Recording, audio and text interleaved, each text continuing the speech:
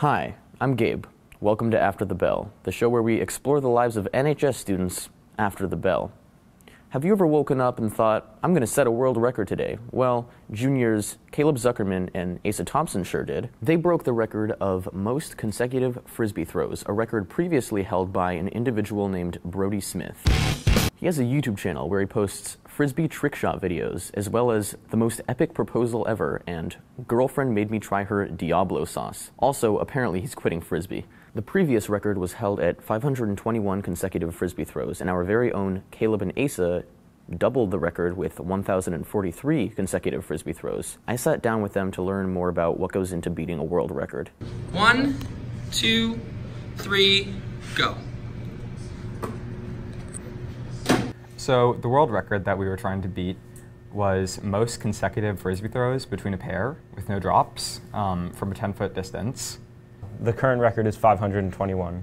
Well, I think it's just like a fun thing to do in your spare time. Um, both Caleb and I do a lot of frisbee, so we figured, you know, might as well get a cool title.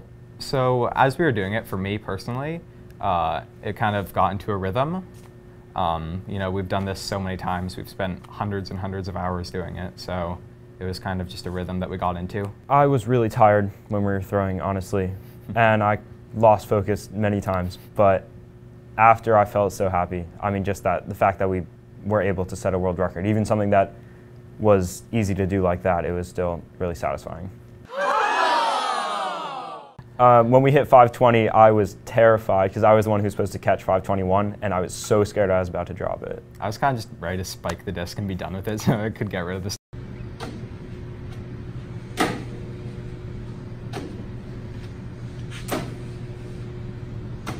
One hour later. 1039, 1040, 1041, 1042, 1043. There is a good chance that could be in the book, but at the very least, um, they will put our names on a big plaque. It's a lot harder than it seems. Actually, the application process takes a very long time. I think Asa put in our application around three months ago, and we're just being able to do it now. And then it takes another at least six weeks until they confirm if it's valid or not.